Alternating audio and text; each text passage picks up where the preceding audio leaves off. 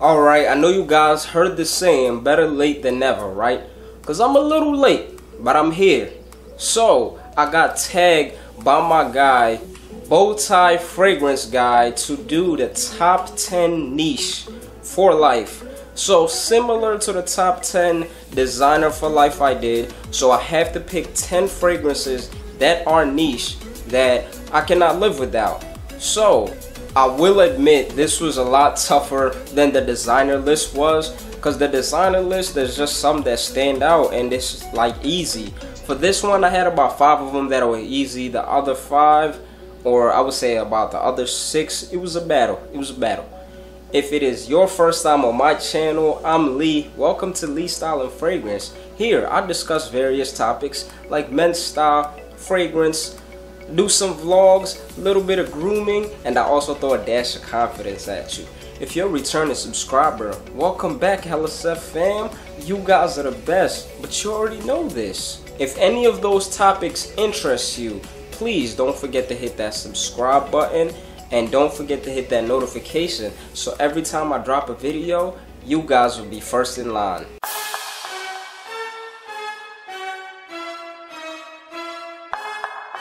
Initially, when I made this list, I wasn't going to put it in order because it was going to be easier. But I seen my guy that tagged me, he put them in order, so I had to. So, without further ado, I'm about to step in it in a second. So, for the number 10 spot, you have Velvet Wood by Dolce & Gabbana. This is one of their private lines. Wow, when I first smelled this. You got notable notes of benzoin, ebony, and leather. This smells absolutely phenomenal. It smells rich. I mean, look at the dent I put in it. Alright, no lie, the dent I put in it is due to the performance and that is why it's number 10 on my list. If it performed well, it'll be much higher on my list, but as far as the overall smell, absolutely amazing. This is something that I wear more in the fall because of how woodsy and sweet it is. This is something that I would dress up. I don't see I don't really see you pulling this off dress down. So either casual, dressy, or suit and tie. So number 10, once again, you got Velvet Wood by Dolce & Gabbana. Now, for the number 9 spot, you got Bal d'Afrique by Byredo. Now, this snuck up on me. And I thank you, Manny, for putting me onto this. This is magnificent. This is one of the best floral scents I have ever put my nose on. You got some cedar, some violet, some neroli, and it's blended together so well. This is something that I will wear in the spring and the summertime because of how fresh it is. So for the number 9 spot, you have Bal d'Afrique by Byredo. It's kind of weird, by Byredo, but whatever. Number 8. So this is actually my best blind buy and it is X Batch by Pineapple Vintage. Wow, it's crazy because you're talking about the king of designer, which a lot of people will say Dior Sauvage is. Then you have the king of niche, which a lot of people will say is Creed Aventus. And this took the DNA of both of them and created something new. So you have that pineapple and apple opening from Aventus, and you have the muskiness from Sauvage and you remove that screeching metallic opening, then you create a masterpiece. The performance of this, the compliments, this is something that I will always have in my collection. I was actually mad when I first bought the bottle because I was like, man, this is a one ounce, which I usually buy, but I was like, this looks small. And I was automatically thinking about getting another bottle. Goes to show you how good it is, guys. Number eight, you have X Batch by Pineapple Vintage. So, number seven, you have Oud and Bergamot by Jo Malone. No lie, I fell in love with this. This is one of the smoothest, sexiest fragrances I've ever smelled.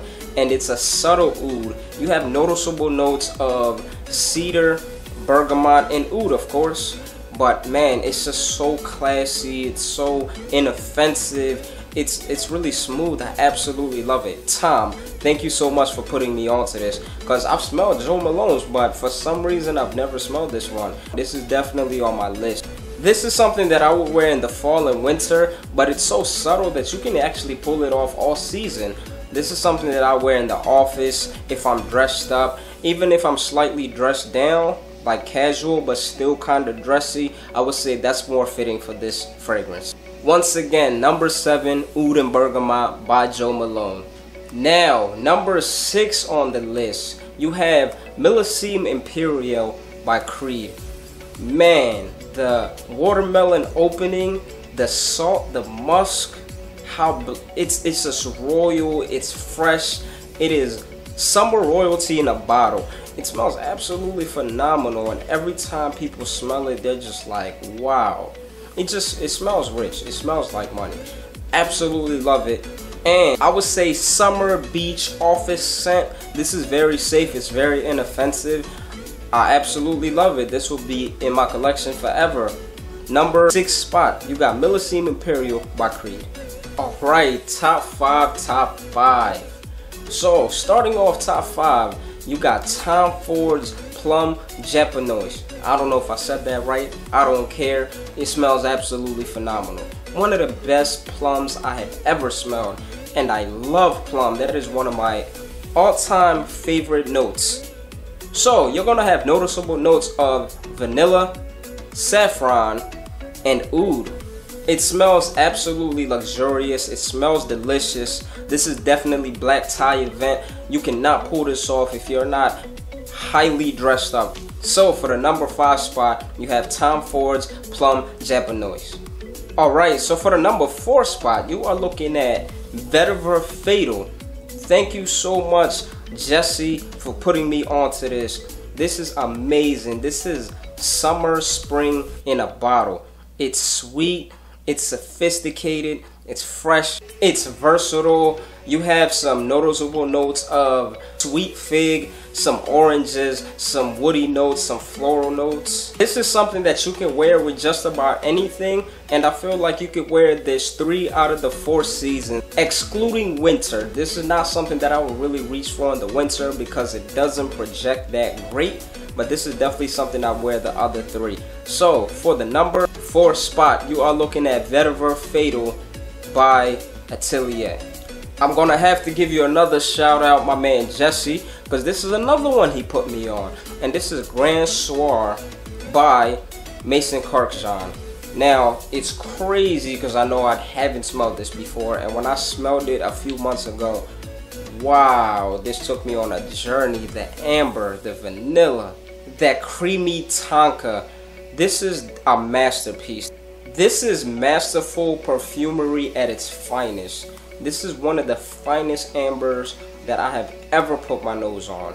It is unisex and this is something that the ladies absolutely love. This is something men absolutely love. The compliment factor on this is out of this world. This is something that I will pay full price easily. I will pay retail price for this. This is how good this is. Wow. Wow. Like, I don't even have words for it. This is something I would wear more in the fall and winter. This is also something that I would dress up, but if you're if you have casual, you still have to be a little bit dressed up to pull off this look, but it is versatile enough that if you're not really that dressed up, now I'm not talking about sweats. can't really rock this with some sweats. But if you're not really dressed up that much, you can also pull this, this fragrance off. Number three, you got Grand Soir by Maison Kurkdjian. Number two, Wow, this is one of my all-time favorite fragrance ever. And this is actually my favorite Creed fragrance. But it is Royal Oud. This is absolute, it, it's worthy of the name Royal Oud. Now, as far as the oud part, you're not gonna get much oud on it. I'm not gonna lie. You get more cedar. Then you have a splash of oud in there, and you have some lemon and the way it's blended it's amazing. It's masculine. This is definitely a gentleman's fragrance. It kind of has a James Bond feel to it. It's very versatile and the fact that it's subtle even on a cooler summer night this is something that I would wear. Probably more in the spring though. Now this is something that I wear more in the fall though. In the fall I feel like this is a perfect fragrance. It's subtle. It's not overbearing it's it's magnificent and this is something that I would totally dress up so number two you got Royal Oud by Creed all right and now for the number one spot what could it be It is another Tom Ford's private blend, and it is none other than Tuscan Leather. Wow, this is one of my all-time favorite scents ever. This smells absolutely phenomenal. Now, I do hear talks on the opening of this smelling like cocaine. Now, I have no idea what the opening of cocaine smells like. Give me a second. But I will tell you that I definitely got addicted to this smell. No pun intended. But man, like it's it just has layers and depth and it's rich, it's strong. I've smelled clones of or I would say fragrances that smell similar, but it just it wasn't as it didn't have that stature that Tuscan leather has. You got some sweet raspberry and some rich saffron and some rich leather and jasmine. It's I don't even have words for it. It's intoxicating. This is one of the best smelling fragrances I have ever smelled. And anybody that I put this in front of, even if they're not absolutely in love with it, I haven't heard anybody say, well, this doesn't really smell good. I've never heard anybody say that. The compliment factor and the performance is out of this world. This is another fragrance that I would definitely pay retail for. Now, I do kind of feel like Tom Ford is a little overpriced, but for Tuscan Leather, I would definitely pay retail for it. And if this was ever discontinued, I would pay discontinued prices for this. This is how much I love this scent, guys. So, number one spot, you have Tuscan Leather by Tom Ford. Alright, so the three people I want to tag First on the list is my man Jesse because you inspired two of these picks. And I know you got some fire, you got a fire collection. So I'm really interested in seeing your top 10. So, Jesse, I'm interested in seeing you do one. Number two on the list would be my guy, and I actually just discovered him on Instagram and I just subscribed to him. But um, he smells like Rome your collection is insane and I know you're probably gonna have the most unique one so I really really want to see your list. So please he smells like Rome. I'm tagging you. Last person the legend the legend the one and only. Hold your round of applause everybody.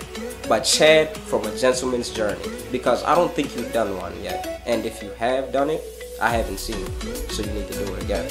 So Chad please drop a top 10. So you guys are the three that I'm tagging. So I expect to see a top 10 list from you guys or I'm gonna find you. No, not really, but please, come on guys. If you guys aren't already following me on Instagram, here's my name right here, Mr. Put Together. And please, please, I would very much appreciate it if you guys dropped a like, a comment, a share, and of course, a subscribe. Hey, don't forget, smell stylish. I will see you guys next time. Peace.